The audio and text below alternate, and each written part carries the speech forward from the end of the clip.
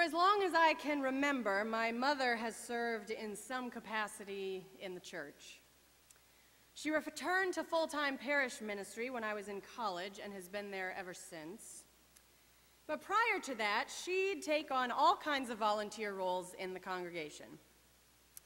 But the one role where I always remember standing and looking at her, thinking, this is what my mother was made to do, was when she would lead the drama portion of Vacation Bible School for one week every summer. My mother was always the narrator of whatever drama was going on, mostly so in case it veered off course, she could veer it back. But she did it with such energy and flair and humor that you were easily transported into the scripture story being told that morning. And with my mother in charge, I was given many opportunities to hone my acting skills in VBS dramas, as well as many opportunities to assist as prop master during my free time at home. I remember the year that Bobo the Wonder Horse, a gift that I had been given as a very small child, was transformed into the golden half calf with the help of an entire roll of gold foil. I remember the year I helped make angel wings out of refrigerator boxes and white fabric scraps that my mother had collected from the dumpster behind Joann Fabrics. And I remember the years I was asked to play roles like Miriam as I sent my baby brother down the river in a basket, or as a mighty guard atop the wall of Jericho with swim floaties on my arms to make muscles out of scrawny adolescent arms. I remember older saints of the church who would show up each morning of VBS to play Naaman or Eli or King Saul or Goliath. And I remember saints like Linda Longfield who always possessed a knack for turning any Bible story into a song. Occasionally, that effort turned into how many words can we squeeze into the next five notes? But nonetheless, we were singing those songs again and again. I was learning scripture and I was learning the stories contained within it, both in drama and in song. Repeating these stories again and again and again until I knew them by heart. It was without question on those sticky wooden pews in the unair conditioned sanctuary in Dubuque, Iowa, for one week each summer where my faith formation found its roots, where those verses and stories were rehearsed again and again and again until they dwelled deep within my soul. You shall love the Lord your God with all your heart with all your heart, you shall love the Lord your God. With all your heart, soul, and mind. Thanks to years of singing these words at Vacation Bible School, this text from Deuteronomy is as familiar to me as my own name. What was not as familiar, however, were the powerful words that followed this text in Deuteronomy. Keep these words close to your heart. Recite them to your children and your children's children. Talk about them at home and when you are away, when you lie down at night and when you rise in the morning. Bind them as a sign on your hand, fix them as an emblem on your forehead, write them on the doorposts of your house. In other words, whatever it takes to know these words in every fiber of your being, do that. Hear, O Israel, the Lord is our God, the Lord alone, and you shall love the Lord your God with all your heart and with all your soul and with all your might. Known as the Shema in Jewish culture, these words from Deuteronomy stand at the center of the Jewish faith. The Shema is perhaps as familiar to the average Jew as the Lord's Prayer is to the average Christian and it is recited two times a day by observant Jews. It is often the first prayer that Jewish children learn, and it becomes part of the daily ritual practice until these words dwell deeply within the one who speaks them. Hear, O Israel, the Lord is our God, the Lord alone. You shall love the Lord your God with all your heart and with all your soul and with all your might. Jesus knew these words well, too. He likely didn't learn them at vacation Bible school the way I did, but he said them and perhaps even sang them often enough that they dwelled deeply in his soul as well. However, when the scribe turned to him that day, the scribe asked a question, and the scribe knew when he asked that question that there were over 600 commandments in the Jewish faith that Jesus could choose from. But the scribe wanted him to pick one. Which commandment is first of all? And Jesus answered with this scripture from Deuteronomy. The first is Hear, O Israel, the Lord our God, the Lord is one. You shall love the Lord your God with all your heart and with all your soul and with all your mind and with all your strength. And then he went on to quote Leviticus. The second is like it. You shall love your neighbor as yourself. There is no other commandment greater than these. You're correct responded the scribe. There is nothing more important than these. They are much more important than any burnt offering or sacrifice we could ever make. Love God, love neighbor. You are not far from the kingdom, Jesus replied, not too far at all. Now, I want us to pause for just a second and look at Jesus' response to this scribe. Keep in mind, the scribe asked for one commandment, Jesus gave two. And the scribe could have easily given him a hard time for this, but I think the scribe knew what he was saying. In offering both of these commandments from Holy Scripture, Jesus communicates they are inseparable. You cannot have one without the other. Love for neighbor is intimately tied with love for God, just as love for God is intimately tied to love of neighbor. And remember, love in Jesus' time was not what we know love to be today.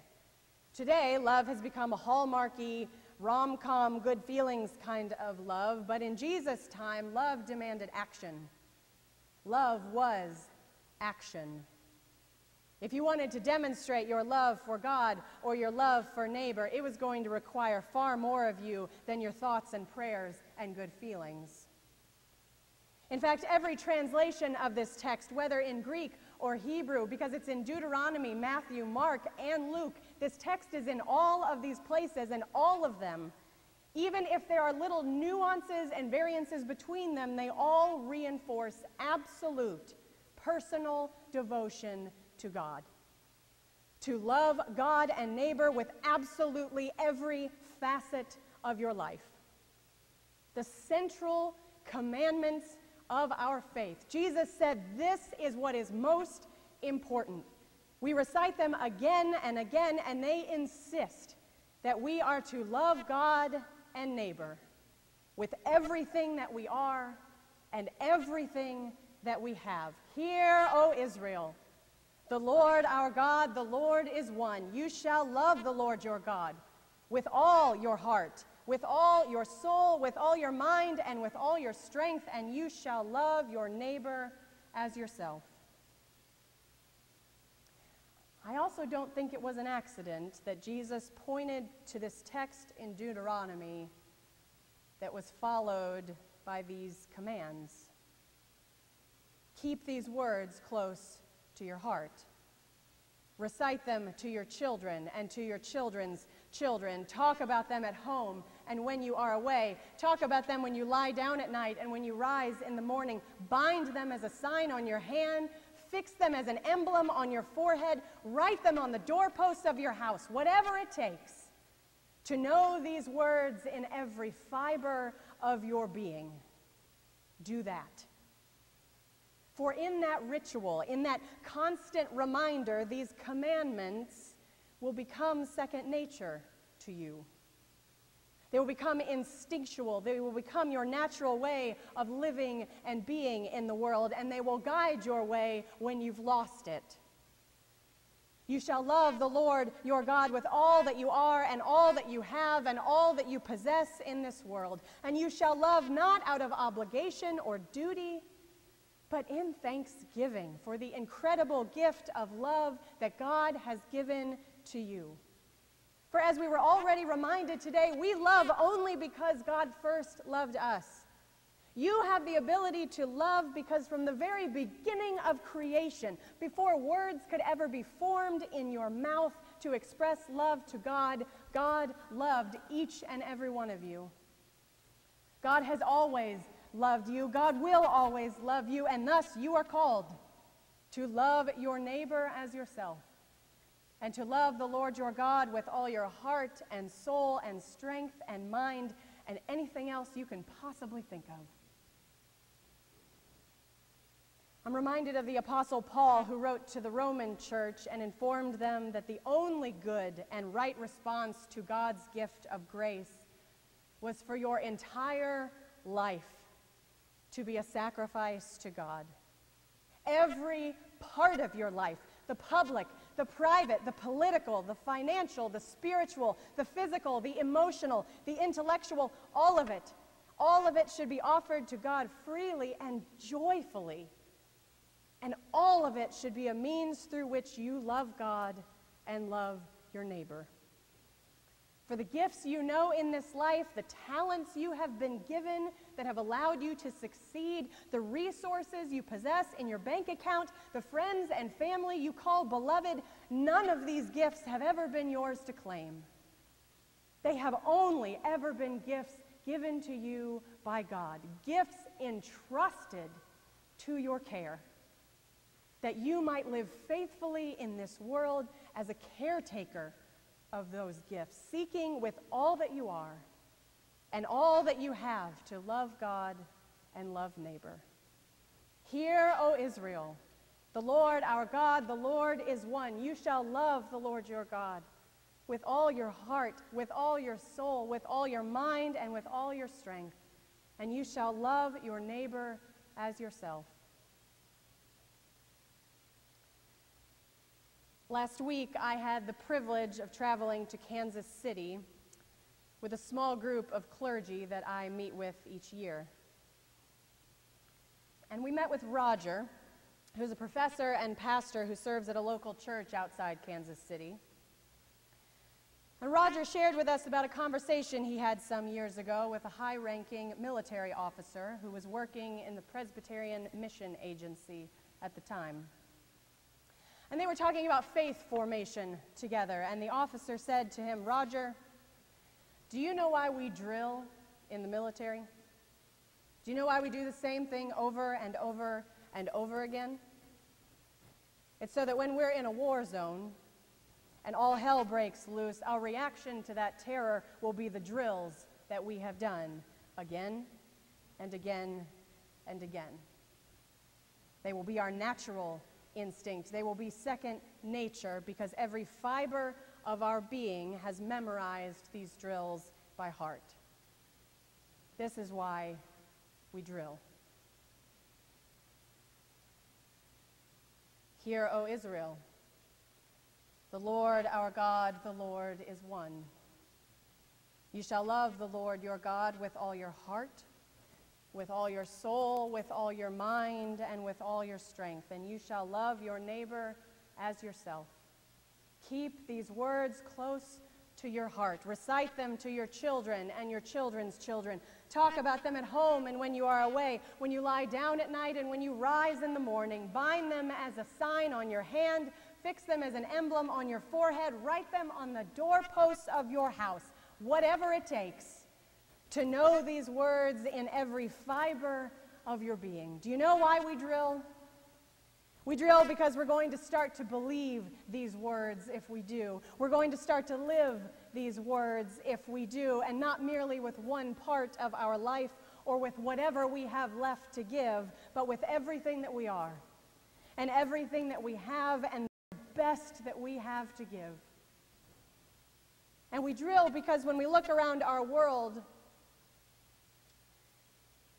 and neo Nazis are marching, and thousands have lost everything in hurricanes, and people are slaughtered by automatic weapons at a music festival, and it feels like all hell is breaking loose. Our reaction to that terror will not be helplessness and hopelessness and fear. But rather, our reaction to that terror will be the words that we have spoken the words that we have lived again and again and again. Hear, O Israel, The Lord our God, the Lord is one. You shall love the Lord your God with all your heart, and with all your soul, and with all your mind, and with all your strength. And you shall love your neighbor as yourself. Friends, there has perhaps never been a more crucial time for the church to believe and to live these words than this very day. For in the midst of the darkness, God calls you and me to be a witness to the light. To love God and neighbor with everything we are and everything we have. It is in this time of abundant darkness that God, more than ever, is calling us to be the church.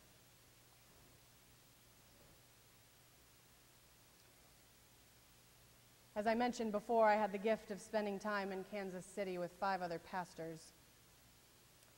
And at one point, Roger turned to each of us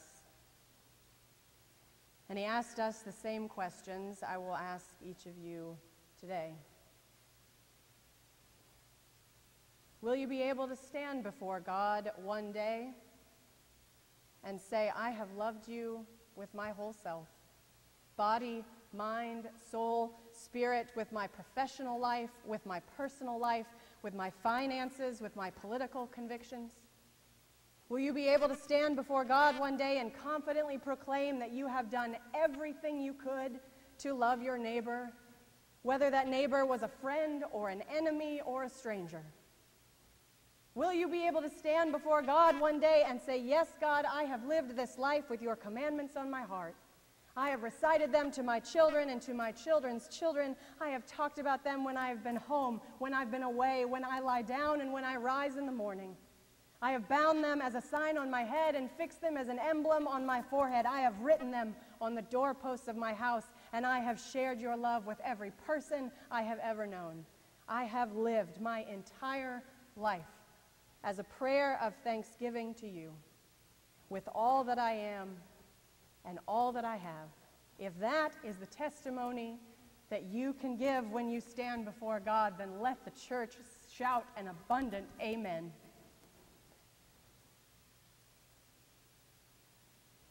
But if it's not, if this is not the testimony you can give, I know it's not the testimony I can give. If there are fears or anxieties that keep you from loving God and neighbor with all that you are and all that you have, then, my friends, you have work to do. We have work to do. And this is why we drill. Hear, O Morrisville Presbyterian Church, the Lord our God, the Lord is one. You shall love the Lord your God with all your heart, with all your heart. You shall love the Lord your God with all your heart, soul, and mind. Amen.